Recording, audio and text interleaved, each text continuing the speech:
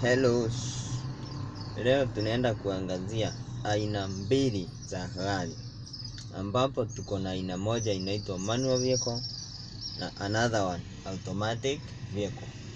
Tofauti ya manual vehicle na automatic ni manual vehicle iko na three pedals 1 2 3 ama A B C. A B stands for accelerator, B stands for brake, C stands for clutch. Nayo automatic haina clutch, iko na only A and B. A and B, Automa uh, uh, accelerator and brakes. The other things ma automatic haina ni hii kitu inaitwa gear lever. Gear lever. Automatic haina gear lever, iko na hizi gears, iko na hizi gears but iko na zake but zake ni automatic. Nitawaonyesha nikiwafanyia introduction ya automatic vehicle.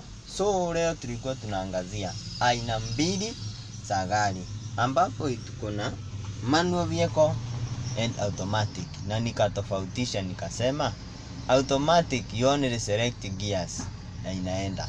Manual iko na three pedals na nimeonyesha A, B and C.